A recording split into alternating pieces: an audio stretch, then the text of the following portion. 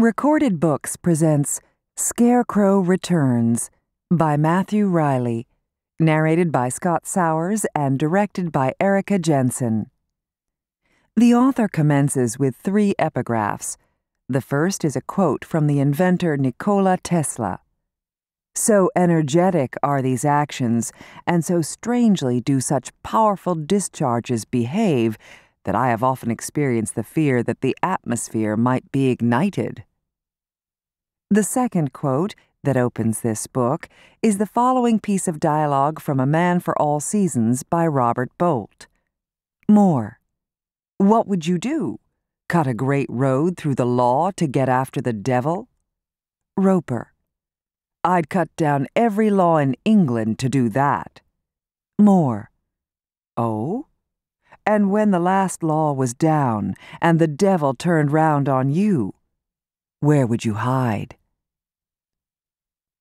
The final epigraph that begins this novel is from the character James Bond, speaking in Casino Royale by Ian Fleming. History is moving pretty quickly these days, and the heroes and villains keep changing parts. And now, Scarecrow returns. Defense Intelligence Agency. Background Report. Classification Top Secret. Eyes Only. Author Retter Marianne. D6. Subject The Army of Thieves. Incident 1 September 9th. The Chilean prison breakout. The first incident occurred on 9 September, and it involved the mass breakout of 100 prisoners from a maximum security military prison at Valparaiso, Chile. Shortly before dawn, a small force of heavily armed men attacked the prison using military tactics and suppressed weapons. The operation took less than 30 minutes. All of the prison's guards were killed. Among the prisoners released were 12 former high ranking members of the Comando de Vengadores de los Martires, the Avengers of the Martyrs, a right wing paramilitary group that performed abductions and assassinations for the Pinochet regime. On their departure, the attackers left a message on the gates of the prison a rough capital A inside a circle, the sign of anarchy. Beneath that, the words, The army of thieves is rising. It had been painted in the dead guard's blood. Incident 2, October 10th, the theft of the Okhotsk. One month and one day later, on October 10, a Russian cargo freighter, the Okhotsk, was seized by persons unknown off the west coast of Africa. According to its cargo manifest, the ship was carrying timber, fuel, and building supplies destined for Zimbabwe, and its seizure was initially believed to be the work of West African pirates. But then the Russians sent half of their Atlantic fleet to find the ship. Our investigations have revealed that the Okhotsk was actually carrying a large weapons shipment intended for sale to three embargoed African regimes. Its cargo was 310 AK 47 assault rifles, 4.5 million rounds of 7.62 millimeter ammunition for those rifles, 90 RPG 7 grenade launchers, 9 Strela 1 amphibious anti aircraft vehicles, each equipped with four 9 M31 surface to air missiles. 12 Zala 42108 unmanned aerial surveillance drones, 18 machine gun mounted Jeeps, 9 shipborne torpedo launch pods containing 4 APR 3E torpedoes each, and 2 Mir 4 DSRV Deep Submergence Rescue Vehicle mini submarines. The freighter was manned by a 10 man squad of Spetsnaz Special Forces troops. This last fact makes it extremely unlikely that the Okhotsk was taken by African pirates. African pirates are usually poor fishermen who attack commercial vessels for the purpose of securing ransoms. At the first sign of any military presence on a ship, they invariably flee. On the contrary, the force of men that took the Okhotsk knew exactly what was on it and were skilled enough to defeat a team of crack Russian paratroopers to get it. To this day, the Okhotsk has not been found. Incident 3 November 11th A robbery over Greece. In the early hours of 11 November, an unmarked German Gulfstream jet carrying 9 billion euros from Germany to Greece disappeared from the skies above northern Greece. The plane's cargo of hard currency was intended for use in the latest stage of Greece's financial bailout. The wreckage of the plane was discovered the following morning. One crew member was missing. The other three had all been shot in the head at close range. The money was gone. Painted on the interior walls of the plane was the same symbol seen at the Chilean military jail a circle with an A inside it, plus the taunt, The Army of Thieves was here. Incident 4 December 12th Attack on a Marine base.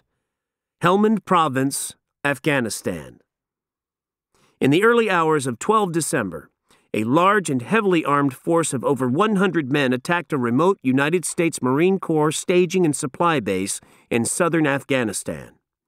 The force attacked with precision, skill, and overwhelming violence, killing all of the 22 engineers and maintenance staff stationed at the isolated base. The attackers' objective, it seems, was not the murder of U.S. servicemen. They were after the aircraft kept at the base. The attackers took four AH 1 Cobra attack helicopters plus two Marine Corps V 22 Osprey Warbird gunships, one of which contained eight crates of brand new USMC cold weather Arctic mountain warfare clothing intended for U.S. forces fighting in Afghanistan over the winter. The attackers painted on the walls of a tent Season's greetings, Yankee scum, from the Army of Thieves, plus the A symbol. Incident 5 January 1st. A second breakout. Darfur. Soon after midnight on 1 January, a temporary UN prison camp in the Darfur region of Sudan was raided by a force of armed and masked men. 102 prisoners, variously described as revolutionary fighters, Islamic militants, and narco mercenaries from several African nations, were freed from the prison and spirited away. All but two of the camp's UN guards were killed. The two surviving guards reported that the raiding force used a variety of Russian made assault weapons and two American Cobra attack helicopters. The raiders departed with their large number of escapees in two V 22 Osprey gunships with U.S. Marine Corps markings. Before they left, they spray painted a message on one of the prison's walls the army of thieves just got stronger. Incident 6 February 2nd Apartment bomb in Moscow. The spectacular destruction of a 20 story luxury apartment building in Moscow on 2 February has been well documented in the media. What was not revealed to the media was the graffiti found covering every wall of the destroyed building's adjoining parking lot. Hundreds of A's in circles had been spray painted there. Incident 7 March 3rd The torture of an American official. Shortly after midnight on 3 March, a small group of unidentified men raided the Georgetown home of the former U.S. Secretary of Defense, killed his two bodyguards, and kidnapped the aging secretary. The secretary was found alive by two early morning hikers in Rock Creek Park, bound to a torture device. He had been waterboarded. Carved into the skin of his chest was the A symbol. During his subsequent debriefing, the secretary exhibited symptoms of severe shock. He continually shouted, Beware the army of thieves! Beware the army of thieves! Conclusions? The seven incidents outlined above describe in somewhat grim detail the rise of a new non state entity calling itself the Army of Thieves. Where it is based and who comprises it are not known. What is known is this It is a force of militarily trained individuals that over the last seven months has obtained for itself a considerable supply of weapons, finance, and manpower. It does not, as yet, show any religious or cultural motivations for its aggressive acts. We do not yet know what is driving this rogue army, but it wants us to notice it. It has carried out one operation a month, every month, for the last seven months, in accordance with a pattern where the day and the month are the same. Clearly, it wants us to see this pattern, and we should be aware of it because tomorrow is April 4th.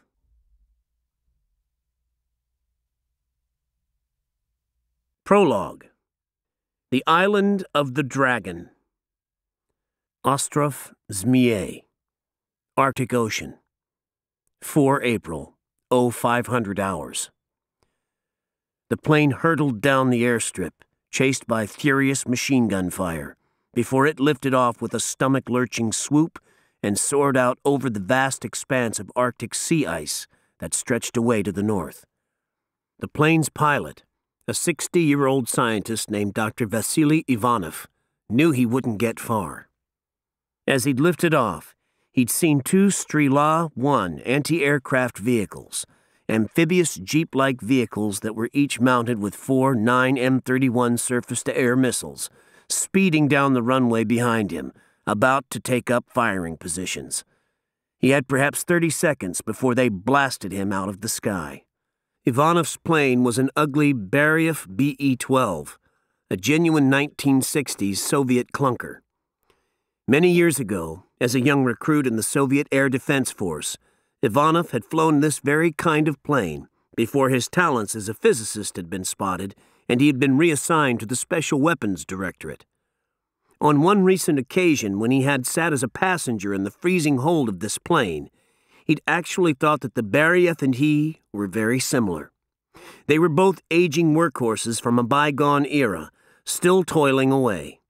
The Beriev was an old forgotten plane used to shuttle old forgotten teams, like his, to old forgotten bases in the north.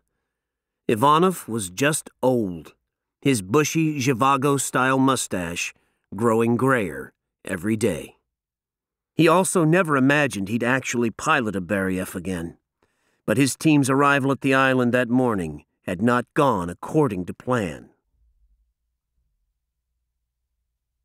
Ten minutes earlier, after an overnight flight from the mainland, the Beriev had been making a slow circuit over Ostrov Zmei, a remote island in the Arctic Circle. A medium sized, semi mountainous island, Ostrov Zmei, Dragon Island, had once held the highest security classification in the Soviet Union, alongside nuclear research bases like Arzamas 16 at Sarov and bioweapon centers like the Vektor Institute in Koltsovo. Now its massive structures lay dormant, kept alive by rotating skeleton crews like Ivanov's from the Special Weapons Directorate. Ivanov and the 12 Spetsnaz troops on the Beriev with him had been arriving for their eight week stint guarding the island. When they'd arrived, everything had appeared normal. As winter faded and the Arctic saw the sun for the first time in months, the sea ice around Dragon had started to break up. The vast frozen ocean stretching north to the pole looked like a pane of smoked glass that had been hit with a hammer. A thousand cracks snaked through it in every direction. Yet the cold still lingered. The complex at Dragon remained covered in a thin layer of frost. Despite that, it looked magnificent. The base's striking central tower still looked futuristic 30 years after it had been built. As tall as a 20 story building, it looked like a flying saucer mounted on a single massive concrete pillar. Two slender, high spired mini towers were perched atop the main disk, as was the base's squat, glass domed command center. The towering structure gazed out over the entire island like some kind of space age lighthouse. Looming to the east of it were the two mighty exhaust vents. Where the tower exuded grace and sophistication, the vents expressed nothing except brute strength and power. They were the same shape as the cooling towers one saw at a nuclear power plant, but twice the size. The once great base bore the usual signs of a skeleton crew pinpoints of light in various places offices, guardhouses, on the disc shaped tower itself. It was also a fortress. Well defended by both its construction and the landscape, a small force like Ivanov's could protect it against any kind of attack. You'd need an army to take Dragon Island. As his plane had arrived at the island and overflown it, from his seat in the hold, Ivanov had seen a steady plume of shimmering gas issuing from the massive exhaust vents, rising into the sky before being blown south. This was odd, but not alarming. Probably just Kotsky's team venting excess steam from the geothermal piping. Upon landing on the island's airstrip, Ivanov's team of Spetsnaz guards had disembarked the Beriev and made their way toward the hangar, where Kotsky himself had been standing, waving. Ivanov had lingered behind in the Beriev with a young private he'd ordered to help him carry the new Samovar 6 laser optic communications gear he'd brought along. That small delay had saved their lives. Ivanov's Spetsnaz team had been halfway across the tarmac, totally exposed, when they had been cut down by a sudden burst of machine gun fire from a force of unseen assailants who had evidently been lying in wait. Ivanov had dived into the pilot's seat and, calling on the skills of his past life, gunned the engines and got the hell out of there, which was how he came to be fleeing Dragon Island. Ivanov keyed the plane's radio and shouted in Russian, Directorate Base, this is Watcher 2. Electronic hash assaulted his ears. They jammed the satellite. He tried the terrestrial system. No good. Same thing. Breathing fast, he reached around and grabbed the Samovar radio pack on the seat behind him, the new hardware he'd brought to Dragon Island. It was a laser optic transmission system that was designed to make secure contact with its satellite not through radio waves, but through a direct line of sight laser. It had been developed specifically to be immune to the usual jamming techniques. Ivanov thumped the high tech radio on the dashboard pointed its laser sighter up at the sky, and turned it on. Directorate Base, this is Watcher 2. Come in, he yelled. A few moments later, he got a reply. Watcher 2, this is Directorate Base. Encryption protocols for the Samovar 6 system are not yet fully operational. This transmission could be detected. Never mind that. Someone's at Dragon. They were waiting for us and attacked my team as soon as they disembarked from the plane. Shot them all to bits on the tarmac. I managed to take off and am now being fired upon. As he said this, Ivanov once again saw the gaseous plume rising from the island's massive vents, and his blood went cold. Mother of God, he thought. Base, he said, perform a UV-4 scan of the atmosphere above Dragon. I think whoever's there has started up the atmospheric device. They did what? I can see a vapor plume rising from the towers. Good Lord. Ivanov made to say more, but suddenly the Beriev was hit from behind by a 9 M31 surface to air missile fired by one of the Strelas. The entire tail section of the old plane disintegrated in an instant, and the plane plunged out of the sky. A few seconds later, the Beriev hit the sea ice, and nothing more was heard from Vasily Ivanov. His distress call to the Russian Army's Signals Directorate, however, was heard by one other listener a KH 12 improved crystal spy satellite operated by the U.S. National Reconnaissance Office. The message was downloaded and decoded by an automated system according to standard protocols. Intercepts of Russian military signals were picked up all the time. But when the keywords Dragon, UV 4 scan, and atmospheric device were all found in the same transmission, the message was immediately forwarded to the highest levels of the Pentagon. The White House Situation Room, Washington, D.C., 3 April, 1645 hours, 45 minutes later. 0545, 4 April, at Dragon. Never mind that. Someone's at Dragon.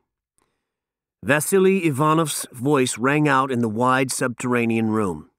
As Ivanov spoke in Russian, a U.S. Army linguist translated his words into English.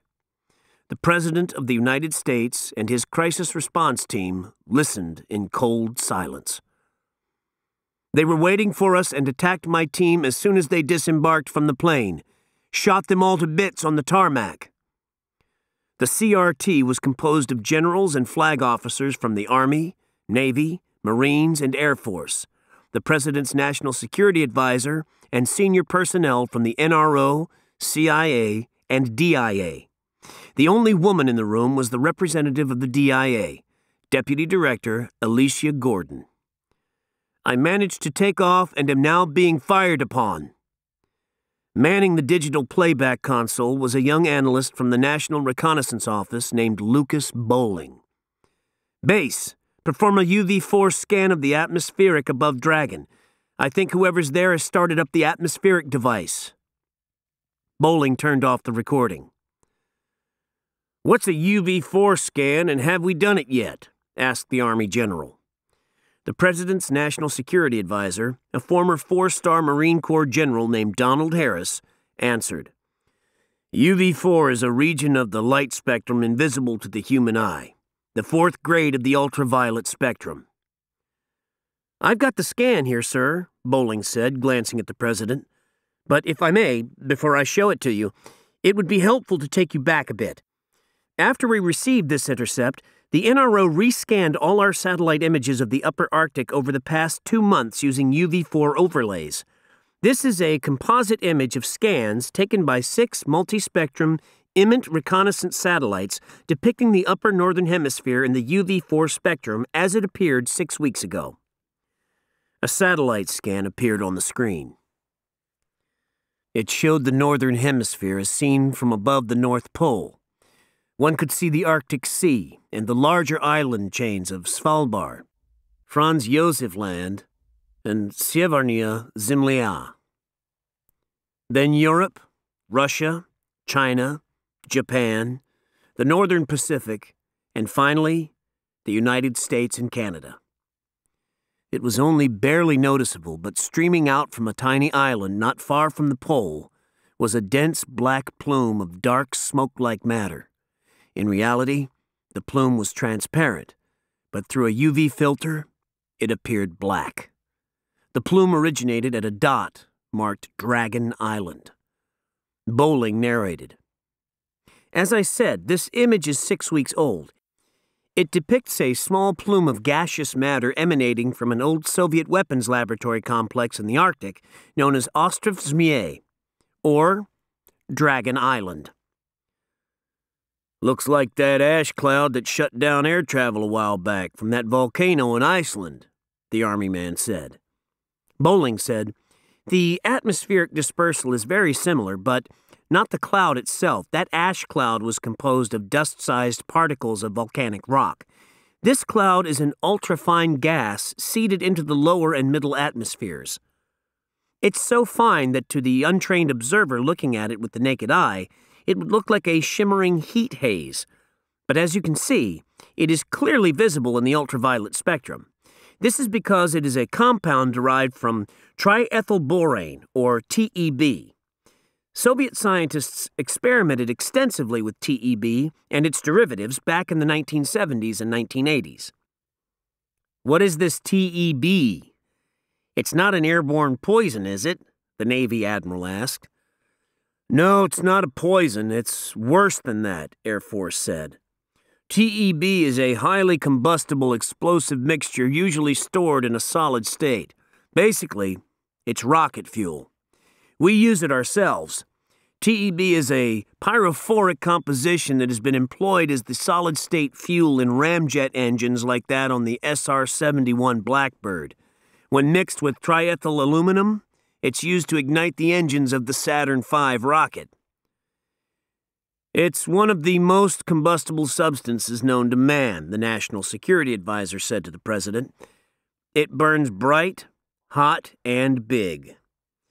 He turned to face the people from the DIA and CIA. But I understood that liquid state TEB and its variants were stable when stored in hexane solution, and I thought the Russians keep it in hexane tanks. They do, the DIA deputy director said, at bases just like Dragon. Only Dragon is different, it's special. If our intelligence is correct, during the 80s that place was a goddamn house of horrors. A classified facility where Soviet scientists were allowed to do whatever they wanted. And they got up to some seriously messed up stuff experimental electromagnetic weapons, flesh eating bugs, molecular acids, explosive plasmas, special nuclear weapons, hypertoxic poisons. During the last few years of the Cold War, among other things, Dragon was the epicenter of Soviet research into caustic Venusian atmospheric gases, gases which are highly toxic and which the Soviets brought back to Earth on two of their Venera probes. It's believed that they managed to mix some of the more deadly Venusian gases with TEB. Apparently, the Soviets wanted to create a skin melting acid rain similar to that found in the atmosphere of Venus and loose it upon America. You create a gas cloud of TEB infused with an exotic Venusian gas, send the mixture up into the jet stream over the Pacific, and, given the right weather conditions, a skin searing superhot acid rain falls on America. Even the location of Dragon is no accident. It sits at the top of the world, at the start of the spiraling wind pattern we call the jet stream. Anything hoisted up into the air above Dragon is quickly whisked around Europe, southern Russia, then China, Japan, and across the Pacific to America. It's the same jet stream that swept that volcanic ash cloud from Iceland across Europe. But the thing is, the DIA deputy director paused. The room waited in silent anticipation. The Soviets couldn't get it to work. The TEB based acid rain project never got beyond the test phase. Instead, by accident, the Soviets created something much more dangerous. There are rumors in the scientific weapons community that they found another use for their TEB Venusian gas compound, namely, sending a combustible gas cloud up into the atmosphere and igniting it with a powerful catalytic blast creating an atmospheric incineration event. A what? They set the atmosphere on fire. The science is fairly straightforward. For a fire to burn, it requires oxygen. A device like this takes that principle to the ultimate extreme. Technically, it's called a thermobaric weapon or a fuel air bomb because, once ignited, the explosive uses oxygen in the air as the main fuel for the blast. Weapons specialists called it a Tesla device, after the great Nikola Tesla, who postulated a weapon that could ignite the entire atmosphere. But such a weapon would require a massive amount of gas in the atmosphere and an ignition device of extraordinary heat and power. A semi nuclear weapon, essentially. And we don't believe the Soviets ever managed to build such a device. A cough. It was the CIA's representative. He cleared his throat and spoke for the first time. That, he said, may not be entirely correct.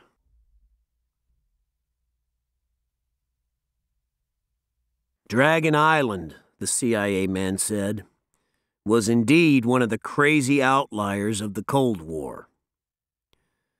Let's not be delicate about it. What the Soviets did there was seriously fucked up. It was cutting edge science with no boundaries, ethical or otherwise. At Dragon, Russia's best physicists were allowed to work with the most exotic and dangerous substances known to man, including those Venus samples you mentioned, all to create new forms of death. Dragon Island was the crown jewel of the Soviet Army's Special Weapons Directorate. Its scientists not only pushed the envelope, occasionally they broke through it. Dragon was their Area 51, Los Alamos, and Plum Island all rolled into one. But when the USSR collapsed in 1991, Dragon Island's program was terminated. Only thing was, the stuff they built there was so exotic, destroying it raised more questions than answers. And so, the Ruskies have just been sending skeleton crews there ever since, just keeping the lights on, so to speak making sure stable solids don't become unstable liquids, and that compounds meant to be stored at absolute zero stay at absolute zero. Put simply, Dragon Island still is a house of horrors. He turned to the president. And it is my unfortunate duty to report to you, sir, that the Russians did in fact build a Tesla device, and it is kept at Dragon. They called it the atmospheric weapon, and it is a two stage device. The first stage is the combustible gas, which is belched up into the atmosphere via a pair of massive vents on Dragon. The second stage is the explosive catalyst that ignites the gas. This catalyst is basically a quasi nuclear explosive composed of a spherical inner core of corrupted uranium 238, so called blood uranium, or red uranium, because of its deep maroon color. Red uranium is not as potent or as radioactive as yellow cake, but its corrupted atomic structure makes it react with TEB far more intensely than a regular thermonuclear blast would. Indeed, a regular nuke wouldn't set off such a gas cloud. A red uranium sphere is small, roughly the size of a golf ball. You encase one in a standard beryllium bridge wire implosive detonator, the kind you find inside a regular nuclear weapon, and then fire the whole unit by missile into the gas cloud. The subsequent blast is hot enough to light the gas and set off the incineration, a rolling chain reaction of white hot acid fire follows, sweeping around the northern hemisphere, igniting the atmosphere itself. It's like lighting gasoline with a match, only this creates a firestorm of global proportions. The president shook his head in disbelief. Who builds something like this? If it destroys the northern hemisphere, it destroys them too. In fact, sir, that's exactly why it was built. DIA Deputy Director Gordon said. A device like this is called a scorched earth weapon. It's the weapon you use when you've lost a war. When the Germans saw that they'd lost World War II, they retreated, burning farms as they went, scorching the earth. The idea was that if they were going to lose the war, then the victors would not gain anything by winning it. The Soviet atmospheric weapon is similar. In the event of the United States disabling or destroying their stockpile of ICBMs in some kind of hostile exchange, the Soviets facing certain defeat would set off the atmospheric weapon, leaving nothing behind but scorched earth for the victors. Only this weapon doesn't just scorch their country, it wipes out the entire upper half of the earth, the President said. That's correct, sir, Gordon said. Mr. President, if someone has taken Dragon Island and initiated its Tesla device, then yes, we have a problem. But it appears we've caught it in time. Whoever is at Dragon Island would need to have spewed the combustible aerosol into the atmosphere for weeks for the weapon to be in any way effective. Relief fell over the Situation Room. The NRO man, Bowling, however, swallowed deeply. Then you don't want to see this, he hit a key on his laptop that projected a new image onto the screen. This image was taken four weeks ago. And this one, two weeks ago. And this last image was taken 45 minutes ago after we caught Mr. Ivanov's distress signal. Holy shit, someone breathed. Jesus Christ. The murky cloud had swept around the entire northern hemisphere in an ugly, elongated spiral, blanketing every major landmass in the top half of the world. It looked like an oil slick that had stained the planet, only this was in the atmosphere. The image of the befouled Earth loomed in front of the shocked faces of the crisis response team. Whoever took Dragon Island has been belching out combustible gas for nearly six weeks, Bowling said they sent it up into the jet stream, and the jet stream did the rest. The entire northern hemisphere is now covered by this gas cloud. At that moment, a young assistant ran into the room and handed a transcript to the DIA Deputy Director, Gordon. The Deputy Director read it, then looked up sharply. Mr. President, this is from our Russian Massent station. It just intercepted an emergency transmission from the head of the Russian Special Weapons Directorate in Sarov to the Russian president in Moscow. It reads Sir, Dragon Island taken by an unknown force. Satellite analysis has revealed that atmospheric gas dispersion from Dragon has been activated for some time, perhaps as long as 41 days. Remote analysis has confirmed that six uranium spheres at Dragon are being primed for imminent use. Priming takes approximately 12 hours, and it appears that priming began seven hours ago. We have five hours to stop this unknown force initiating the atmospheric weapon. Gordon put down the transcript. Silence gripped the room. The president looked at a wall clock. It was now 5 p.m., or 6 a.m. at Dragon. Are you telling me that in five hours, an unknown force is going to set off some kind of super weapon that will ignite the atmosphere of the Northern Hemisphere? That's correct, sir, Gordon said. We have five hours to save the world. The president stood up. Get the Russian president on the phone right now. The door to the Situation Room was flung open. A young Air Force major charged in. Mr. President, the Russians just launched an ICBM from Omsk in Siberia. It's bearing down on a target in the Arctic Ocean, a remote island base. They're firing a nuclear missile at one of their own islands.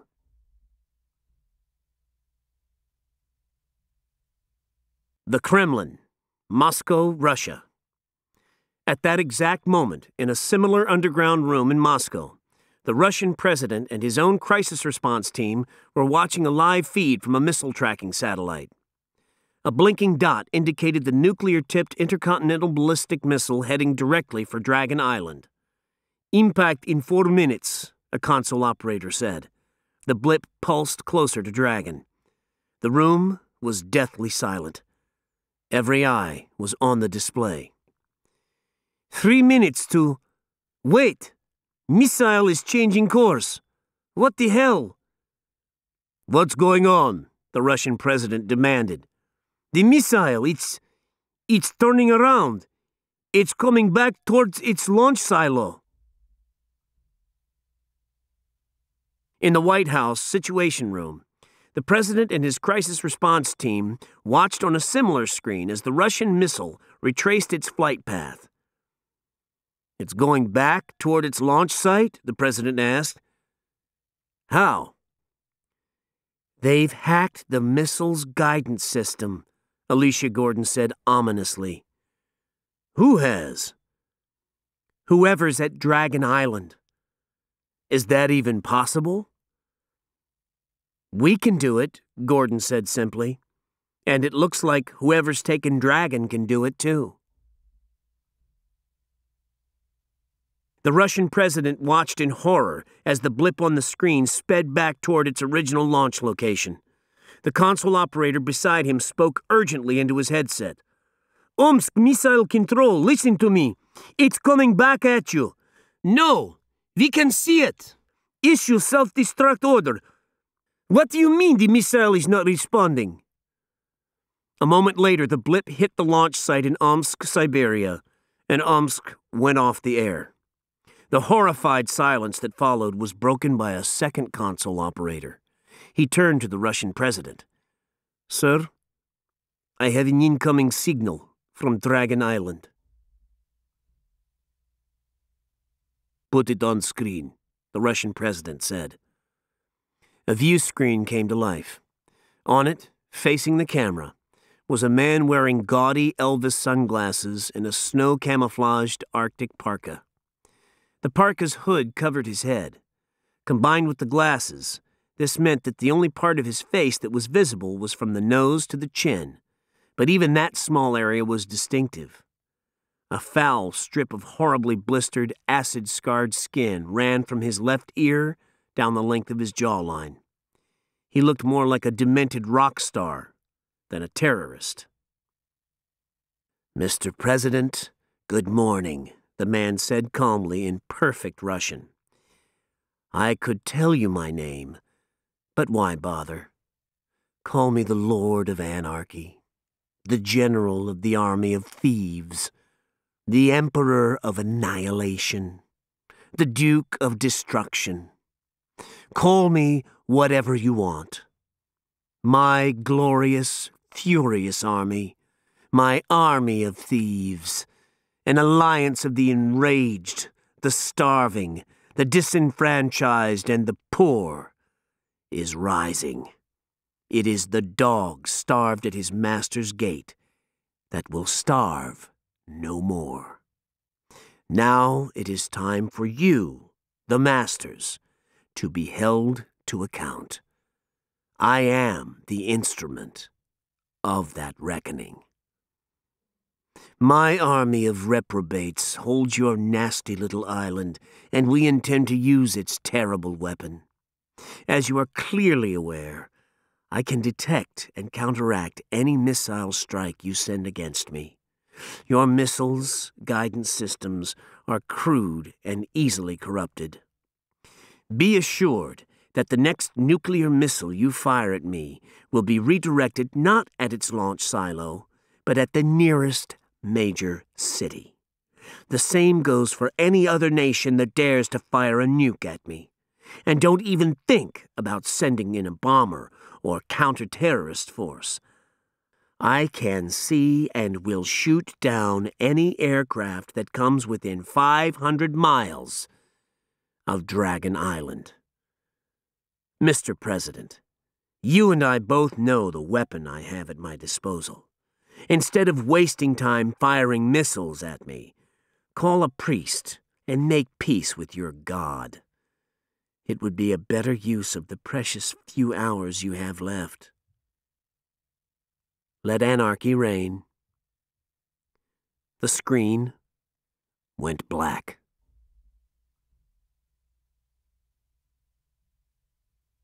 The White House Situation Room. The president slammed down the phone. He'd just spoken with the Russian president. An air approach is out of the question, he said and the Russians don't have any units close enough to get to Dragon by sea within five hours. What about us? Do we have any assets in that area? Anyone who's close enough to get there undetected by sea or over the ice within five hours? And stop that weapon from going off? I'm sorry, sir. The Air Force has no such assets in that region, Air Force said. Neither does the Army, sir, Army said, shaking his head. We do, sir, Navy said. Got a SEAL team and a sub about 70 nautical miles northeast of that island. Ira Barker and his boys, doing Arctic training. They're tough, close, and all geared up. They can get there in maybe three hours. Call them, the President ordered. Call them now and send them in. Tell them to sabotage, disable, or destroy anything or anyone that will stop that device from going off. And while they're on their way to Dragon, dispatch a larger force that can get there later, just in case these SEALs do somehow succeed in delaying this. While all this was happening, the Marine Corps representative had moved off to a corner of the room where he spoke into a secure phone. He hung up and turned to the President. Sir, there's also. Well, what? What? I've got a small equipment testing team up there camped on the sea ice about a hundred miles north of that island. Been there for the last seven weeks. A few Marines, a DARPA guy, and some civilian contractors testing new gear in extreme weather conditions. It's not exactly an assault unit, but it's somebody, and they're up there. Who's in command? The President asked. The Marine General said, A captain named Schofield, sir. Call sign, Scarecrow. Scarecrow, the President said, recognizing the name. The one I spoke to the French President about a few months back? The United States citizen that the French military put a floating bounty on? That's him, sir. That French business is the main reason he's up in the Arctic now. They sent hit teams to kill him twice when he was stationed at Parris Island. Both times he survived.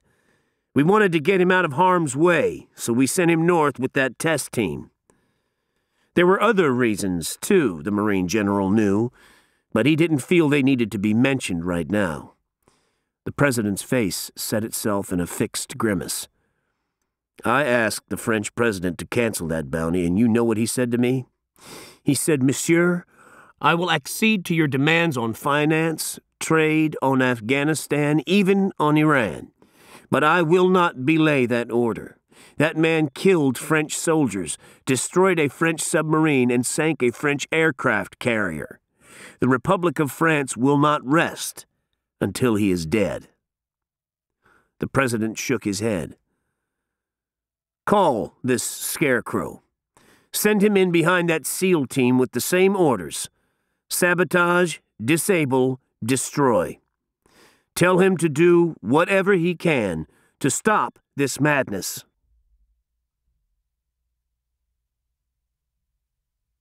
First phase The Call to Arms. Dragon Island, 4 April, 0830 hours. A quote by Richard Wainwright from The Cold War.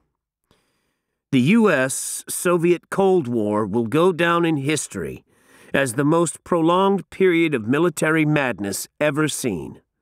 Weapons of extraordinarily destructive capability were built to the extent that if a war were ever fought, there would have been no world left for the winner to live in. Arctic Ice Field, 4 April, 0830 hours. 2 hours, 30 minutes to deadline. The two assault boats sped down the narrow ice-walled canal. They skimmed along at 30 miles an hour, thanks to their state-of-the-art pump jet engines and bullet-shaped hulls, both of which had been designed by the Defense Advanced Research Projects Agency. And while the lead boat tore a fierce wake through the still waters of the alleyway, its engine barely made a sound. The boats were prototype AFDVs, Assault Force Delivery Vehicles, small and fast craft intended to deliver American troops to hostile shores quickly and silently. They looked a little like Zodiacs, only these boats were sleeker, with ultra thin inflatable rims that rode close to the waterline. Not yet in active service, they were still in the testing phase. Seated on the motorcycle like saddle of the first boat was Captain Shane M. Schofield, USMC. In his mid 30s, Schofield was about 5'10 with a rugged, creased face and black hair. He usually wore his hair cut short and his chin clean shaven. But after seven weeks in the Arctic, his hair was longer and he had a healthy stubble around his jaw.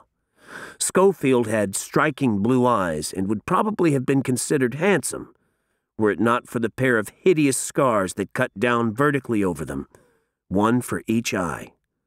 The scars were the source of his operational nickname Scarecrow. They were wounds from a previous mission gone wrong, from a time when Schofield had been a pilot in the Marine Corps Air Wing. Shot down over enemy territory, He'd been captured and tortured, during which his eyes had been slashed with a razor blade. Surgery had saved his sight, but he had not been allowed to fly again, so he had retrained as a line animal, ultimately rising through the officer ranks of the Corps to command an elite force reconnaissance unit.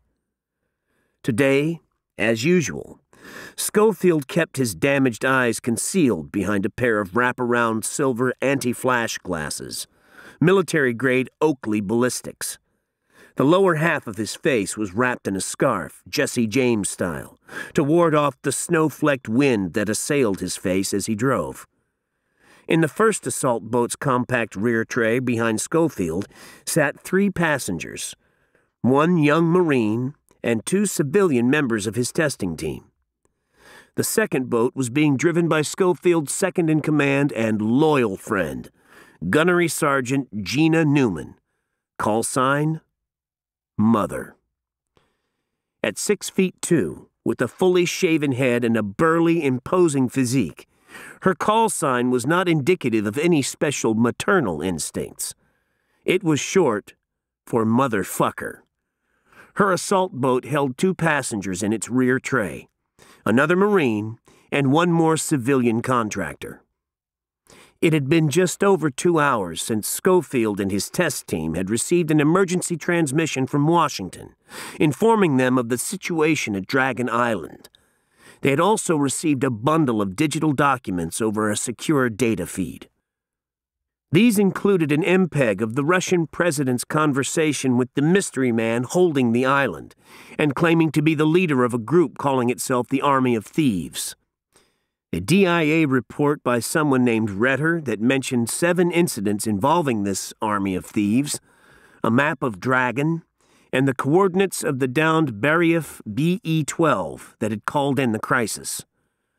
They also received a brief document titled Operation of Atmospheric Weapon, outlining the component parts of the device on Dragon Island.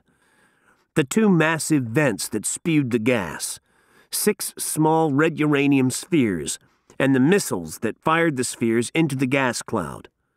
Broadly speaking, if they could destroy or sabotage any one of these three elements before the spheres were primed to operating temperature, they could stop the operation of the weapon.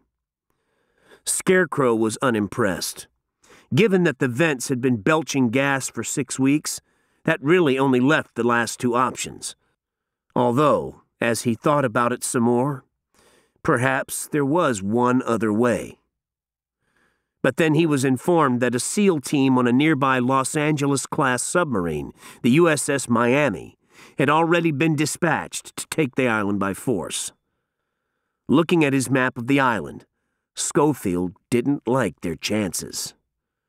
Dragon Island was a natural fortress its shores were made up almost entirely of 300 foot high cliffs, and in the only two places where the land came down to the water's edge, a long abandoned 19th century whaling village and a submarine dock, there were all manner of fences, walls, gun emplacements, and watchtowers. There was a third access point. Three small islets nestled in and around the bay on Dragon's northern coast but that route was so easily guarded against as to be useless. In short, Dragon Island was perfect for a defending force and hell for an offensive one. Even a relatively small garrison could hold off a large attacking army for weeks. It was just as he was thinking about the SEAL incursion that a secure ULF signal came in from the USS Miami. It had already started powering toward Dragon, and would get there a good hour before Schofield and his people could. A short and very one sided exchange followed with the SEAL commander, a gruff but experienced specialist named Ira Ironbark Barker. Just sit back, Scarecrow. We'll take care of this, Ironbark had said. If you just wait an hour, we can catch up and go in with you, Schofield said. I mean, we don't even know how many men are on that island. I ain't waiting, and my boys sure as hell don't need your help, Ironbark said. I've seen this sort of shit before. No amount of gun toting thugs can match a fully trained SEAL team. So I'm going to say this once and once only. Stay out of our way, Scarecrow. We are going to that island and we are going to shoot everything in sight. I don't want you and your nerds stumbling in there afterward and getting in the way. Besides, who have you got with you anyway? A couple of Marines and some geeks from the science fair? I have seven people four Marines, including me, and three civilians. Which means you'll be about as helpful as a fart in an elevator. Jesus! Civilians?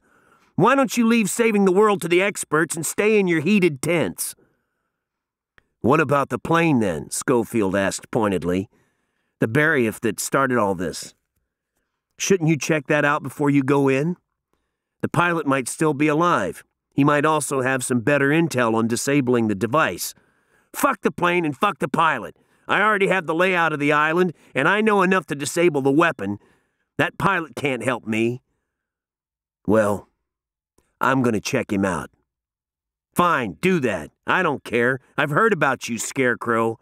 Heard you got initiative which to me means you're unpredictable, and I don't like unpredictable. Do what you want, just stay out of my way or else you might get shot. Understand? I understand. Ironbark out. The line went dead. And that was how Schofield and his little team came to be zooming south through a maze of ice walled canals, heading for the site of Vasily Ivanov's crashed Beriev BE 12.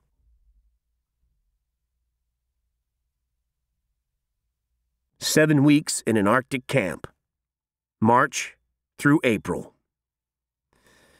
How Shane Schofield, a former commander of a crack force reconnaissance unit, came to be in the Arctic with a small team of scientists was a story all by itself.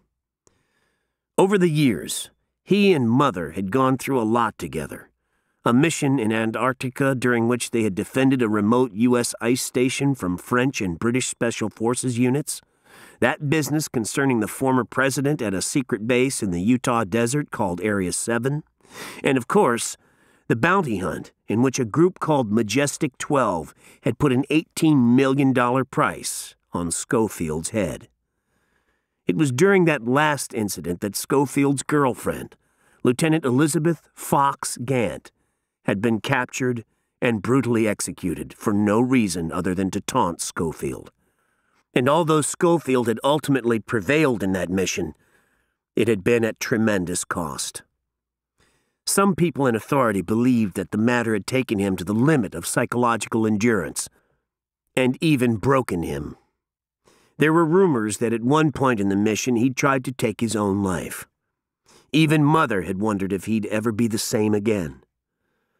But after four months of mourning that was labeled stress leave, he'd gone to his superiors at Marine Headquarters in the Naval Annex building in Arlington and announced that he was ready to get back to work. Given the concerns about his mental state and the wariness some Marines had about working with him, he was at first assigned to a teaching position at the Marine Corps' recruit training facility at Parris Island in South Carolina. For such an experienced and decorated warrior, the appointment was seen by many as an insult, but it had actually been a good fit. As the former commander of a force recon unit, the new recruits at Marine Corps Recruit Depot, Parris Island, had hung on his every word. And Schofield had turned out to be an excellent teacher, generous with his knowledge, uncommonly patient, and always willing to stay late to work with a recruit who wasn't quite getting it. His students adored him. That said, everyone at Marine HQ knew it was bullshit. It was just that no one wanted to rush Scarecrow back into active service. Although there were rumors that as a damaged and therefore expendable leader, he had been sent on a particularly bloody mission to an island in the Pacific Ocean called Hell Island. But no one could verify these rumors, and Schofield himself would not be drawn on them. And then came the first French assassination attempt. They were waiting for him one Sunday night outside a restaurant in Beaufort as he emerged from dinner with his grandfather. A pair of DGSE agents looking to bag the French military's 5 million euro floating bounty on the Scarecrow. Schofield had spotted them lurking across the street, had seen them follow him and his grandfather to the nearby parking structure. Upon entering the parking lot's stairwell, he'd quickly doubled back, disarmed, and disabled them both. The two French agents were now in Leavenworth in a special section reserved for protected inmates. The prisoners at Leavenworth, despite their own crimes, were oddly patriotic when it came to foreigners who tried to kill United States Marines and had not given the two Frenchmen a pleasant welcome. The second attempt had come six months later. It had happened on a quiet country road a few miles from Parris Island, as Schofield had been driving back there late one night. Another pair of French agents had pulled up alongside his car and abruptly opened fire. A short running gun battle had followed, and it ended with Schofield firing back with his Desert Eagle pistol and killing the gun toting passenger before ramming the rival car off a bridge, sending the second French assassin plunging into a swamp. The driver had survived. He was next seen sitting slumped on the footsteps of DGSE headquarters in Paris, still covered in mud, handcuffed with a pink bow tied around his mouth. A message was written in permanent marker on his forehead. This belongs to you.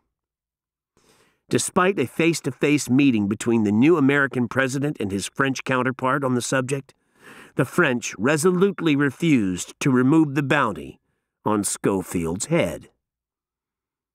And then this assignment had come up. The Corps needed experienced Marines to test new equipment in extreme climates. It would involve accompanying scientists from the Defense Advanced Research Projects Agency, the famous DARPA, and some private contractors to the ends of the earth, baking deserts, steaming rainforests, and the brutal cold of the Arctic, to test prototypes of new weapons, tents, armor, and vehicles. Naturally, it wasn't the kind of mission that the Corps wanted to waste on top talent, but so far as the brass were concerned, it was perfect for Scarecrow.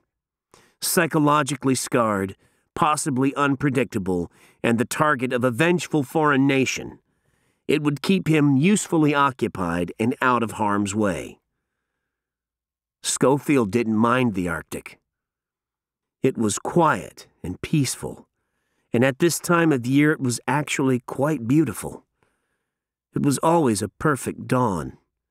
The sun lurked just above the horizon, never setting, but never rising either, bathing the ice plain in spectacular horizontal light. It was bitingly cold, sure, but still beautiful. It also helped that he had a good team up there with him. Eight people and one robot. Over the last seven weeks, huddled in their camp of silver domed tents, Schofield's team had got along pretty well, as well as eight human beings living in close proximity in freezing conditions could get along, really. Having Mother around helped. She could silence anyone who bitched or moaned with a single withering look. And even then, the only member of the team who'd been even remotely problematic was the senior executive from Armacorp Systems, Jeff Hardigan, and getting the look from Mother usually shut him up. Mother, of course, had insisted on coming along. Not even the Commandant of the Marine Corps dared say no to Mother Newman. After many years of loyal and distinguished service in the Corps, she had her choice of deployment, and she went where Scarecrow went.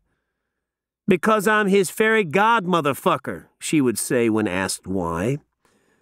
The other two Marines in the group were considerably younger Corporal Billy the Kid Thompson and Lance Corporal Vittorio Puzo, a hulking Italian American who, because of his famous surname, quickly got the nickname Mario. Scarecrow had a soft spot for the kid. While not academically gifted, he failed most written exams. What he lacked in smarts, he made up for in a desire to be smarter. He was also good natured, a crack shot, and a whiz at field stripping and rebuilding almost any kind of weapon. Mario, on the other hand, was less easy to like. He was a surly and dour guy from the engineering corps who kept largely to himself when they weren't working. A highly skilled mechanic, he was responsible for maintaining the various vehicles they were testing. Like Schofield, however, both the kid and Mario were in the Arctic doing field testing for a reason. They were also broken. The kid had lost the hearing in one ear in a training accident, so he couldn't go on active deployment and a little digging on Schofield's part had revealed that Mario had been implicated in the disappearance of some sidearms and over $20,000 worth of vehicle parts from a Marine lockup. He hadn't been formally charged, but a cloud had lingered over him, and this assignment was seen by some as an unofficial punishment. As for the four civilian members of the team, as far as Schofield was concerned, two of them were great and two less so. Zach Weinberg was from DARPA, and he was your typical geek genius. He was 29, gangly and thin, and he wore huge glasses that seemed three sizes too big for his head. A physicist by training, he was at DARPA because of his work in robotics. Hopelessly devoted to Call of Duty video games and all things Star Wars and Star Trek, he was in the Arctic testing several new DARPA inventions the main one being a small bomb disposal robot called the BRTE 500, or as Zach called it, Bertie.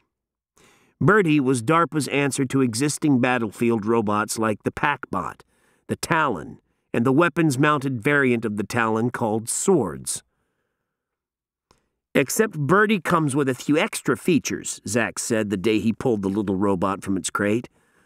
Unlike other bots that require human operators to control them remotely, Bertie is able to operate completely independently. Thanks to an artificial intelligence chip developed by my team at DARPA, he can follow spoken orders, learn, and even assess a situation and make tactical decisions. He can make tactical decisions, Schofield said.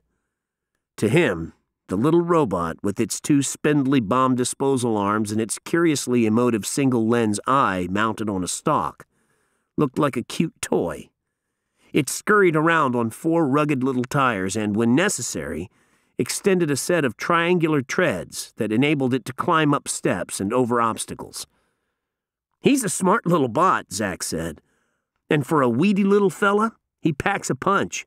He was initially designed for bomb disposal, but I removed his IED water blaster and lightened his armor plating, replaced all the steel with ultralight titanium. Then, I augmented him with some offensive capabilities. As he said this, Zach attached a gun barrel to Bertie's weapons mount, and suddenly the little robot took on a wholly different appearance. He looked like WALL-E with a great big gun. Those capabilities include, Zach explained, four internal rotor fed ammunition clips, which load a custom modified lightweight short barreled internal recoil compensated 5.56 millimeter M249 machine gun, a blowtorch for cutting through fences and razor wire, full digital SATCOMs. We hope you enjoyed this preview. To continue listening to this audiobook on Google Play Books, use the link in the video description.